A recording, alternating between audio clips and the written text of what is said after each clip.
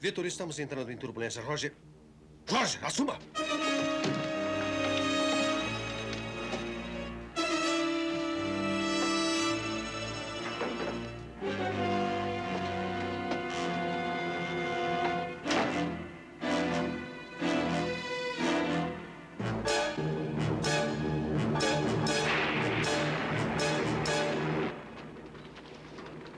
Comandante, quando o senhor pode pausar? Não posso dizer. Para mim pode, eu sou médico. Não, eu quis dizer que não tinha certeza. E não pode dar um palpite? Bom, só daqui a umas duas horas.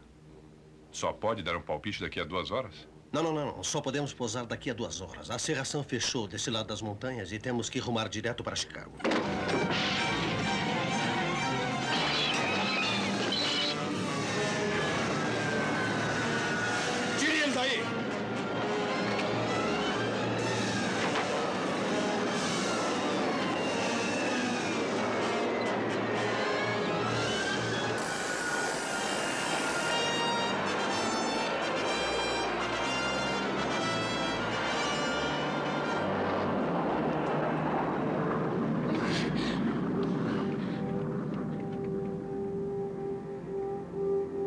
O que foi, doutor? O que é que está vendo? Eu não sei ao certo.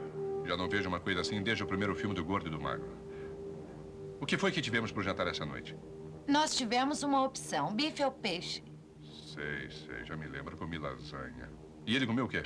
Ele comeu peixe. Doutor, há mais duas pessoas doentes e os outros estão muito preocupados. Eu me encarrego dos passageiros. Descubra o que essas pessoas comeram no jantar.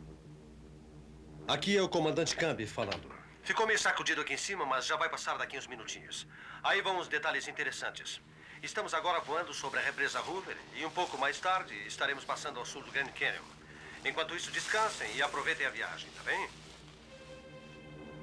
Chicago, aqui o voo 209. Estamos em apuros. Temos que ter todo o tráfego abaixo de nós liberado. Quero aproximação e pouso prioritários em Chicago. Pois não?